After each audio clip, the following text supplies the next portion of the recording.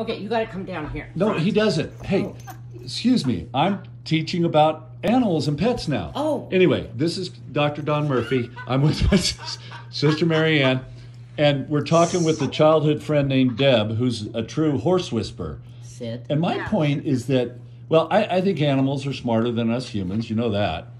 But, oh yeah. but uh, I was claiming that Sit. Deb has horses that are smarter than Franz. And Marianne, you and Skid are saying no. Franz is the smartest animal on the planet. I Oh, mean, yeah. what, so why is that? I mean, he looks.